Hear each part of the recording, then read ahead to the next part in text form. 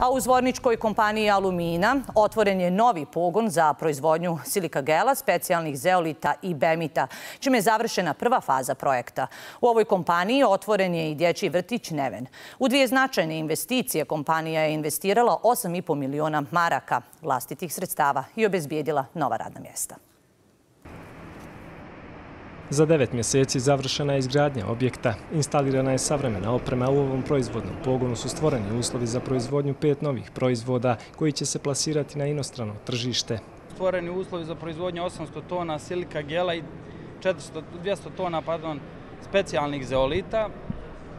Planu je nastavak na drugoj fazi gdje ćemo raditi na povećanju kapaciteta specijalnih zeolita. Nakon završetka ove faze uslijedit će i radovi u okviru druge faze projekta. I ćemo još sa jednim objektom brzo da mogli pratiti i treću fazu iz ove proizvodnje, da idemo što više sa smanjenjem boksta, sa povećanjem naše profitabilnosti. Ovo je ne samo razvojni kapacitet opštine Zvornik, grada Zvornika, nego čitave regije, a i same Republike Srpske.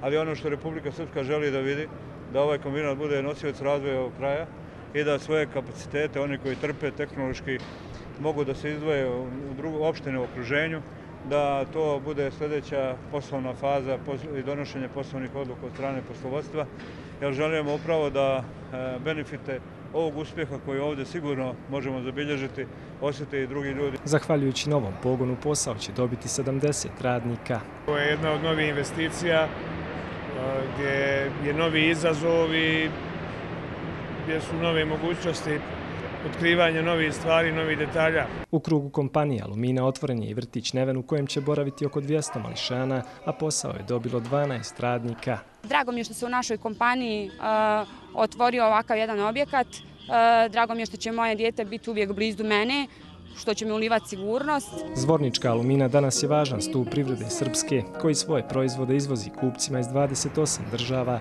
Evrope, Azije, Afrike i Amerike.